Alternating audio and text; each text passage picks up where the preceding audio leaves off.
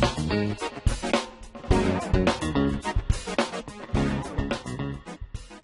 Herkese merhaba kanalıma hoş geldiniz. Bugün sizlerle birlikte NetBeans 8.2 RC sürümü ve Java'nın JDK'larının nasıl kurulacağından bahsedeceğim. Aslında Java derslerine başlamadan önce NetBeans 8.2'nin kurulumundan bahsetmem gerekiyordu fakat daha sonrasında paylaşırım diye bahsetmedim. Bugün sizlerle birlikte bu kurulum aşamalarından bahsedeceğim. Videoya geçmeden önce yazılım üzerine daha fazla içeriklerin gelmesini istiyorsanız kanalıma abone olarak beni destekleyebilirsiniz. Dilerseniz şimdi kurulum aşamalarına geçelim. Öncelikle NetBeans'in sitesine gidiyorum. Burada görmüş olduğunuz üzere NetBeans'in 8.2 sürümünü kaldırdılar. Onun yerine NetBeans'i Apache serverlarıyla birleştirdiler. Dilerseniz siz Apache NetBeans'in iresini de kurabilirsiniz. Onu da şuradan göstereyim. Download dediğiniz zaman direkt Apache NetBeans'in sürümünü açıyor. Bu Apache NetBeans direkt bildiğimiz NetBeans 8.2'nin birebir aynısı. Sadece içerisinde Apache serverlarının ve ekstra içerisinde özellik paketlerinin bulunduğu bir sürüm. Bunu da yükleyerek Java projelerinizi yapabilirsiniz. Ama ben NetBeans 8.2'yi yükleyeceğim. Sayfanın altına geliyorum. Older Releases dediğimiz kısma tıklıyorum. Eski sürümleri yüklemek için en aşağıya iniyorum ve burada görmüş olduğunuz üzere e, Apache NetBeans'ten önceki versiyonları yükleyin diyor.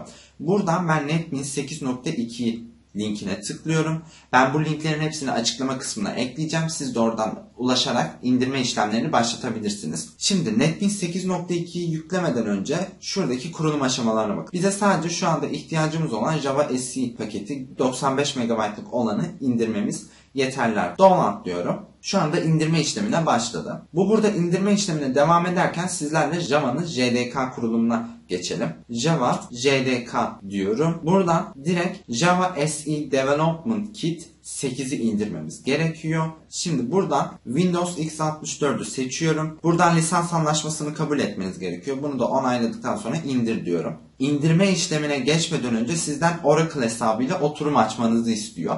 Oracle hesabı oluşturmanız gerekiyor önceliğinde. Hesabı oluşturduktan sonra tekrardan bu siteye girerek açıklama kısmına eklerim ben. Oradan ulaşarak indirme işlemini başlatabilirsiniz.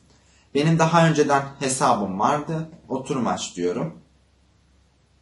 Evet şu anda JDK'yı da yüklüyor. JDK'yı yüklemeden NetBeans'i yükleyemezsiniz. Öncelikli olarak JDK'yı indirip yüklemeniz gerekmekte. Evet JDK'yı da indirdi. JDK için şimdi kurulum aşamasına geçelim.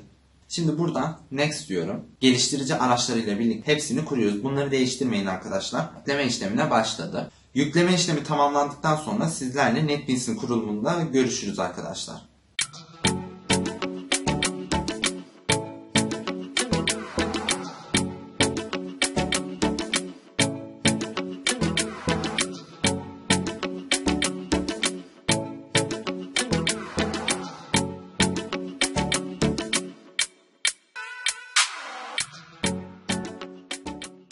Zaten daha öncesinde vardı diyor. Farklı bir klasöre kurmak istiyor musunuz diyor. Evet diyelim. Evet şu anda ikinci kurulum aşamasına geçti.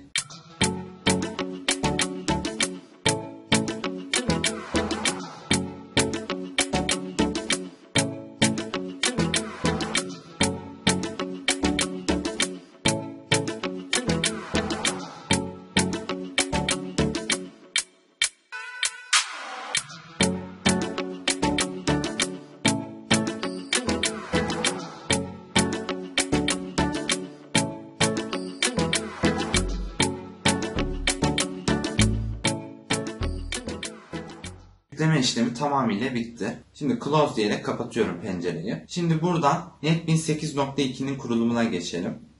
Evet şu anda bütün konfigürasyonları yükleme işlemini geçti. Şu anda NetBeans'in yükleme ekranı karşımıza geldi. Buradan next diyerek yükleme işlemine geçelim. Anlaşmayı kabul ediyoruz. Next diyorum. SSD'ye kaydedecekseniz siz farklı klasör yollarını seçebilirsiniz. Ben değiştirmeyeceğim. Güncellemeleri de otomatik olarak kontrol etsin ve install diyorum. NetBeans 8.2'nin yükleme işlemi uzun sürüyor. Yani yaklaşık olarak bir 5 dakika ile 10 dakika arasında değişebiliyor. O yüzden sizlerle kurulum bittikten sonra NetBeans'in ilk açılış ekranında görüşürüz.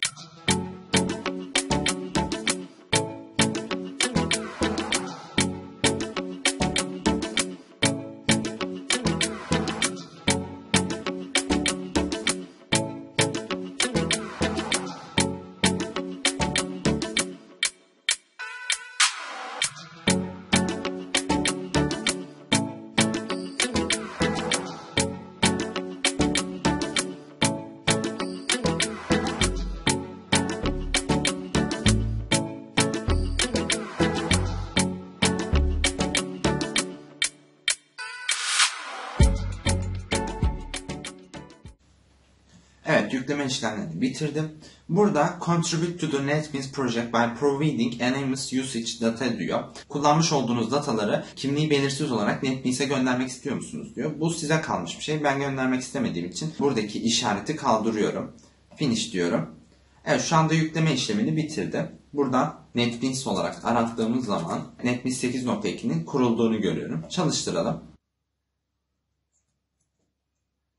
Evet görmüş olduğunuz üzere NetBeans'imizin kurulum aşamasını da bitirmiş olduk. Sizlerle bugün NetBeans 8.2'nin ve Java'nın JDK sürücülerinin nasıl kurulacağından bahsettim ve bu kurulum aşamalarını sizlere anlatmaya çalıştım. Umarım sizler için faydalı olmuştur. Ee, bir sonraki dersimizde sıfırdan Java derslerine kaldığımız yerden devam ediyor olacağız.